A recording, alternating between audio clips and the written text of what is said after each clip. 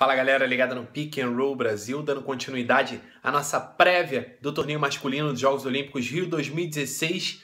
Vamos falar de mais uma seleção do grupo B, a Lituânia. Lituânia que entre as duas equipes talvez é a equipe que teve uma preparação, a preparação mais extensiva.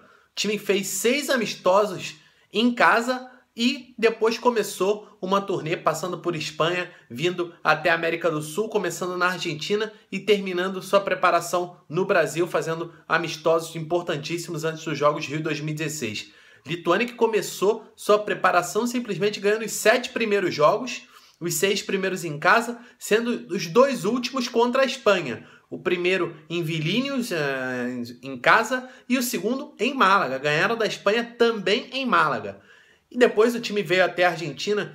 Jogo, é, teve um jogo contra a Austrália cancelado por uma questão de goteira. Depois fez jogo duríssimo contra os donos da casa. Perdeu só na última bola, jogo de duas prorrogações. Foi ao Brasil, já venceu a Austrália e perdeu para o Brasil também em um jogo muito apertado. Enfim, a Lituânia mostrando muito serviço nessa preparação para os Jogos Olímpicos.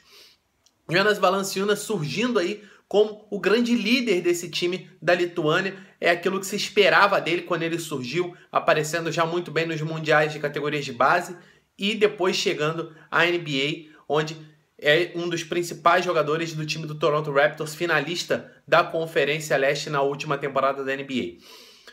Lituânia, além do Jonas Valanciunas, tem outros grandes valores. O Domantas Sabonis é o mais recente, mostrando muita força no garrafão nessa preparação. Um jogador que ainda está com o jogo em desenvolvimento. O arremesso de média e longa distância ainda não apareceu. Um jogador que tem a capacidade de finalizar muito bem perto da cesta, aparece muito bem para o pick and roll. Já mostra aí algumas boas características defensivas, embora ainda não seja um jogador completo em nenhum dos dois lados da quadra. Mindaugas Kuzminskas, que como o Domantas Sabonis chega à NBA nessa temporada, reforço do New York Knicks, dá muita opção no perímetro, tem um arremesso muito preciso de fora. Jonas Maciulis vem do banco de reservas desse time, uma das feras do time do Real Madrid. Real Madrid, um dos protagonistas do cenário europeu. Maciulis sempre trazendo muita força para esse time lituano dos dois lados da quadra, um jogador de muita categoria. Roberto Diabtocas que tem um papel reduzido nesse time, mas é um dos veteranos, é um cara que traz experiência e muita presença defensiva. E a Tocas é muito efetivo em momentos importantíssimos dos jogos. E o Mantas Kaunietes, que é o armador desse time, é o maestro. O Kaunietes é um jogador que tem capacidade tanto de pontuar quanto de fazer os companheiros pontuarem.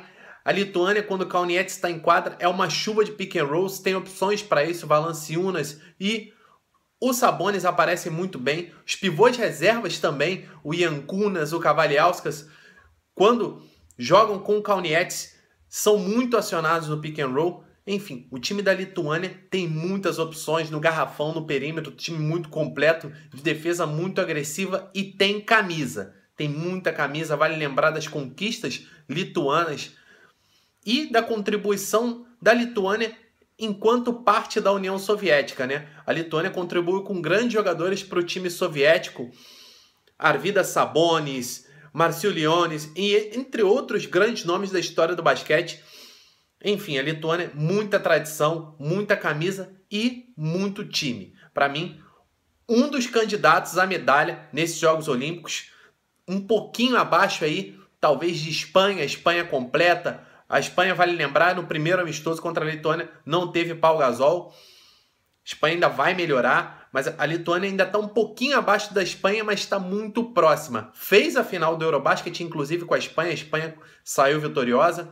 A França também está um pouquinho acima, mas depois desse dos Estados Unidos, a Lituânia está logo ali, junto com a Argentina, Brasil, Sérvia. Enfim, torneio olímpico muito equilibrado, muito disputado. E a Lituânia na minha opinião, vai ser sim uma das grandes protagonistas. Gostei muito do que vi, pude ver de perto essa seleção, só fazendo aquecimento para um jogo que não houve contra a Austrália, mas sim contra a Argentina, pude ver. E é um time duríssimo.